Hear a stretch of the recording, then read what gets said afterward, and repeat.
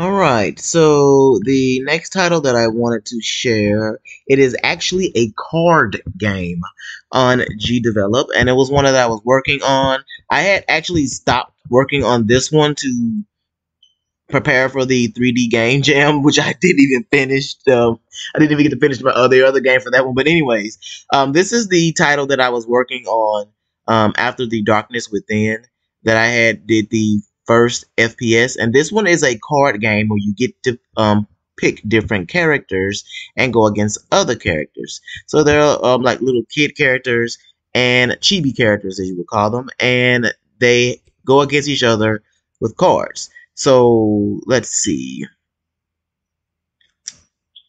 I got the idea from, I believe, Yu-Gi-Oh! and uh, games like that as well.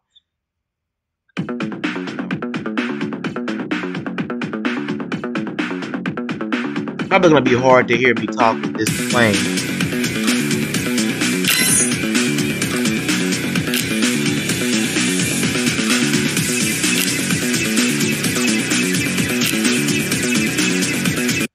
Yeah, it's probably to be hard for me to um, talk with that playing as loud as it is, but I have to probably adjust that in the settings or something.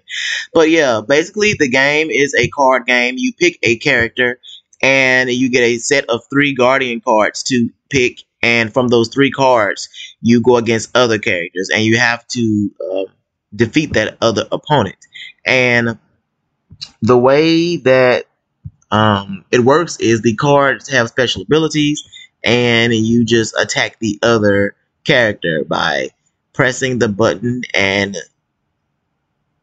um, activating the card and then using it against the other character. Now, I did two different versions of this because one I did the, the chibi version, and then the other build that I had was with the more traditional. Let's see if this is the right one. Traditional anime looking version. So this one, let's see. Let's go to uh, play arena. And I'll show you how this one look. As you can see already that the setup is there where you get the main deck and then you have the three card choices right here. And then once you go to like if I go to preview the game now and um, you can see that they have I have the characters that you can pick and the cards you can pick, which are based on the zodiac signs, by the way.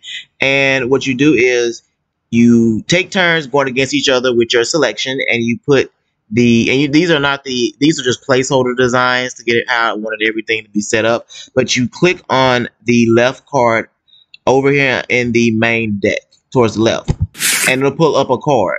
Now, once it pulls up a card, there'll be a specific type of card, and you will press that card to activate it. Once you activate that card, it'll activate these cards down here. And then it'll allow you to pick one, uh, whichever. I don't think I had it. Yeah, and then you can see from here that it'll give you the ability to do an attack or do something. And if you press it, you select it, you'll be able to attack one of these other cards on the opponent's side. So this is a placeholder. Um, as you know, they're more chibi looking now.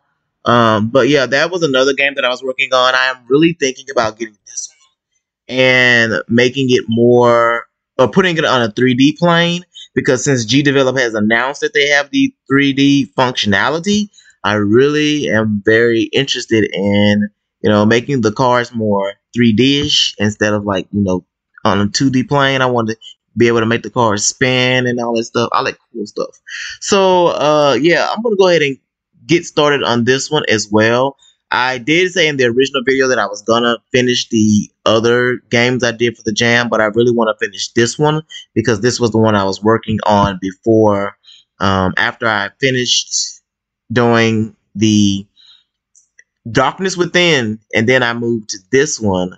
This is the one that I really want to go ahead and get done, and now I want to see how it looks on a 3D plane. So um, the title is ZShuffle. So um, I look forward to getting this one done.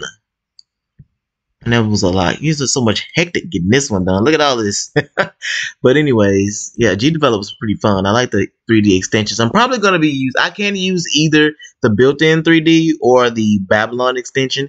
But then there's also other extensions like GDD, and then there's there's like a lot of you know cool extensions with GDevelop. So I don't know.